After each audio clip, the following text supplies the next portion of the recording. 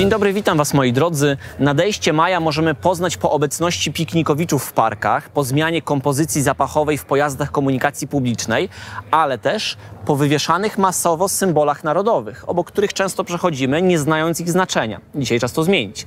Zacznijmy od tego, że aby zrozumieć polską flagę, musimy wyjść od herbu, którego opis znajdziemy w artykule 28 Konstytucji, który mówi następująco. Godłem Rzeczpospolitej Polskiej jest wizerunek orła białego w koronie w czerwonym polu. Ten opis zawiera niestety kardynalny błąd. Nasi posłowie zapomnieli, że wizerunek orła wraz z czerwoną tarczą to herb, a godłem jest tylko orzeł. Ale pomijając poprawną terminologię, zastanówmy się, dlaczego w ogóle w naszym herbie znalazł się orzeł. Legenda głosi, że Lech, protoplasta wszystkich Polaków, w trakcie wędrówki przebywając niedaleko Poznania, zauważył sporej wielkości gniazdo, w którym siedział orzeł i pilnował małych orląt. Ten na widok wędrowca rozpostarł skrzydła na tle czerwonego zachodzącego słońca, a Lech uznał to za znak i założył w tym miejscu swoją siedzibę, którą nazwał Gniezno, co naturalnie nawiązywało do gniazda. Opowieść ta jest łudząco podobna do historii założenia Rzymu, gdzie Remus i Romulus obserwowali sępy. Jest to zresztą dość stary zwyczaj wyczytywania znaków, które miały być dane przez bogów za pomocą drapieżnych ptaków. Pomimo tego, że romantyczna, jest to niestety tylko legenda, więc skupmy się na tym, jakie mamy fakty w tej sprawie. Po raz pierwszy spotykamy się z symboliką orła na ziemiach polskich przy okazji denara Bolesława Chrobrego. Jego wizerunku nie musimy daleko szukać. Wystarczy, że odwrócimy banknot 20-złotowy. Faktycznie widzimy tu jakiegoś ptaka, ale czy jest to orzeł? Na pierwszy rzut oka przypomina raczej coś kurowatego, ale być może wynika to z niedoskonałej techniki menniczej. Przeanalizujmy go w takim razie bardzo dokładnie. Po pierwsze, na głowie ptaka możemy zauważyć trzy kreski. Wiele osób interpretuje je jako koronę, ale bardziej przekonuje teoria wybitnego historyka profesora Suchodolskiego, który twierdzi, że korona na głowie ptaka nie była znana w tym czasie i pojawiła się dopiero 200 lat później. Jeśli jednak nie korona, to co? Być może jest to czub z piór, który wskazywałby na pawia, co zgadzałoby się ze sposobem ukazywania go w tym czasie. Za pawiem przemawiają jeszcze inne argumenty. Przyjrzyjcie się dobrze ogonowi, który na denarze za nic nie przypomina opuszczonego, jednolitego ogona orła, a bardziej przypomina nam pawi wachlarz. Paw byłby tutaj raczej symbolem religijnym niż świeckim, ale pojawia się pytanie, czy ten ptak był obecny na monetach innych państw z tego okresu? Według większości numizmatyków tak było przy okazji monet czeskich, na przykład u księcia Bolesława II albo trochę później u księcia Brzetysława. Ale wróćmy do polskiej monety, gdzie jest trzeci zagadkowy szczegół, który w bardzo przekonywującej interpretacji innego wybitnego znawcy tematu, profesora Panfila, wskazuje jednak na orła. Mowa tu o pięciu kropkach, które znajdują się na tułowiu ptaka. Paw występujący w Polsce w tym miejscu ma jednolite niebieskie umaszczenie, ale już bielik, który miałby być tutaj naszym wzorem, takie pojedyncze białe piórka posiada. Warto tu zauważyć, że bielik tak naprawdę nie jest orłem, a należy do podrodziny myszołowów. Jednak w czasach, kiedy denar był wybijany, nie widziano takiej różnicy, a poza tym w heraldyce przede wszystkim chodzi o oddanie symbolu.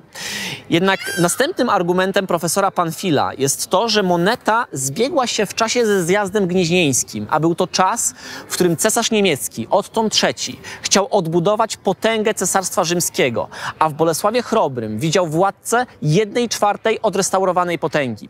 Świadczy o tym napis dookoła ptaka, czyli Princes Polonie, który nawiązuje do rzymskiego tytułu princepsa. A jeśli zamiast imienia Bolesława na monecie znalazło się odwołanie do cesarstwa rzymskiego, to być może ptak ma takie samo uzasadnienie. Czy taki pogląd ma podstawy? Tak, orzeł był dla naszych zachodnich sąsiadów bardzo ważny. Ale nie Niemcy go wymyślili, oni go tylko skopiowali z czasów starożytnego Rzymu. Zwróćcie uwagę, jaki znak niósł przed sobą rzymski legionista. Jest to formuła SPQR, czyli Senatus Populusque Romanus, co oznacza Senat i lud rzymski. Ale tuż nad nim odnajdziemy już orła. Co symbolizował? Władzę. I to nie tylko u Rzymian. Jeszcze wcześniej u Asyryjczyków, Babilończyków, Persów, a nawet u Greków, gdzie orzeł podawał mitologicznemu Zeusowi pioruny. Oznaczałoby to, że powodem, dla którego w naszym herbie znalazł się orzeł, nie była wcale legenda o Lechu, ale obecność tego znaku w symbolice cesarzy niemieckich, którzy mianowali się spadkobiercami Rzymu. Jednak ustalenie, jaki ptak znajduje się na denarze Chrobrego, nie jest nam do niczego potrzebne, dlatego że on nie stał się wtedy narodowym symbolem. Zresztą same herby pojawiły się dopiero ponad 200 lat po tym wydarzeniu. Natomiast przez ten czas orzeł przewijał się na znakach niektórych polskich książąt, ale do rangi symbolu narodowego urósł dopiero za czasów Przemysła II. Z okazji koronacji nowy król postanowił sobie zafundować nową pieczęć majestatyczną, na której rewersie możemy odnaleźć orła w otwartej koronie, będącego od tego czasu symbolem państwa. Jednak bardzo mało by brakowało, żeby dzisiaj dzieci na pytanie, jaki znak twój, nie odpowiadały wcale orzeł biały, ale lew biały. Dlaczego? Otóż Przemysł II pochodził z wielkopolskiej linii Piastów, która za swój znak bardzo często używała właśnie lwa. Tak było zarówno z jego ojcem, Przemysłem I, czy jego wujem, który go wychował, czyli Bolesławem Pobożnym. Ale przyszły król decyduje się na zmianę godła swojego i przodków. Dlaczego tak się stało? Przemysł II był bardzo ambitnym politykiem, którego plan był bardzo prosty zjednoczenie rozproszonych ziem polskich. I za godło przyjął znak, który był najczęściej używany wtedy przez poszczególnych piastów. Takim znakiem był orzeł, jak na przykład w dolnośląskiej linii, która używała go w wersji czarnej. Zresztą zobaczcie na dzisiejszy herb województwa dolnośląskiego, który zawiera charakterystyczny śląski półksiężyc na tle czarnego orła. Ale dla Przemysła II najważniejszy był Kraków, którego symbolem był biały orzeł. Widoczny również dzisiaj w herbie województwa małopolskiego czy w prześwicie bramy w herbie Krakowa. Ze względów marketingowych łatwiej jednoczyło się królestwo pod znanym znakiem, a nie obcym dla niektórych lwem. Później nasz herb był wielokrotnie modyfikowany, na przykład dzięki Jagielonom, którzy używali swojego herbu dynastycznego, czyli litewskiej pogoni, która znalazła się obok polskiego orła na herbie całej Rzeczpospolitej obojga narodów. W tym przypadku na czwórdzielnej tarczy układane parami. Natomiast polscy królowie lubili też dodawać taki element od siebie, który świadczyłby o ich pochodzeniu.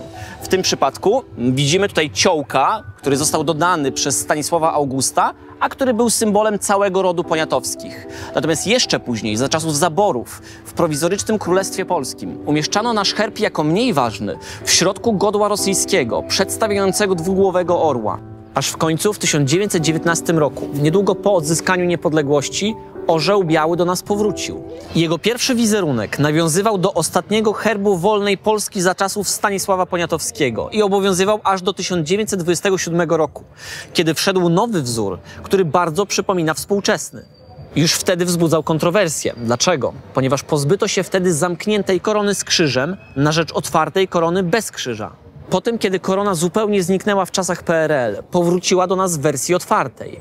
Ale co jakiś czas, nawet dzisiaj, wybuchają gorące spory i żądania przywrócenia zamkniętej korony. Gdzie leży problem? Otóż okazuje się, że w niektórych interpretacjach zamknięta korona z krzyżem jest symbolem władzy cesarskiej, a więc zupełnie niepodległej, a otwarta jest symbolem lennika, na przykład króla, który może być podległy cesarzowi albo papieżowi. I wtedy oznaczałoby to, że zarówno w czasach II RP, jak i dzisiaj nasz kraj jest w jakiś sposób niesuwerenny, od kogoś zależny. Jednak warto zauważyć, że taka symbolika nigdy nie obowiązywała w polskiej heraldyce, a poza tym Orzeł w herbie miał koronę otwartą za czasów polskiego Złotego Wieku, kiedy byliśmy potęgą polityczną i militarną, a dla odmiany zamknięta z krzyżem obowiązywała za czasów księstwa warszawskiego, kiedy o jakiejkolwiek suwerenności nie mogło być mowy. Druga kontrowersja polega na pojawieniu się we wzorze z 1927 roku dwóch pięcioramiennych gwiazdek w tych miejscach.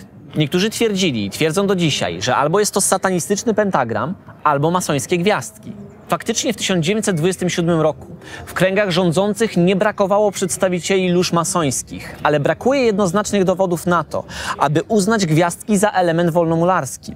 Być może był to znany w heraldyce element ozdobny. Jednak na wszelki wypadek w 1990 roku, być może po to, aby nie zaogniać konfliktu, zmodyfikowano gwiazdki tak, że przypominają już bardziej element skrzydeł niż pentagram czy inny pięcioramienny twór. A co z flagą? Poświęciłem jej mniej czasu, dlatego że jej losy nierozerwalnie związane są z herbem. Jest ona jego odzwierciedleniem kolorystycznym, zgodnie z zasadami. Górna część odnosi się do godła i oznacza czystość, a dolna do tarczy herbowej i oznacza waleczność. Podsumowując, czy współczesne godło jest tak naprawdę herbem? Czy zawiera błędy heraldyczne i powinno wyglądać inaczej? Musimy pamiętać, że z tymi znakami szli ginąć polscy wojownicy, rycerze i żołnierze. A właściwie powinienem powiedzieć za te znaki. Dlatego bez względu na wszystko jesteśmy im winni szacunek. Bardzo Wam dziękuję za dzisiaj, no i do zobaczenia następnym razem.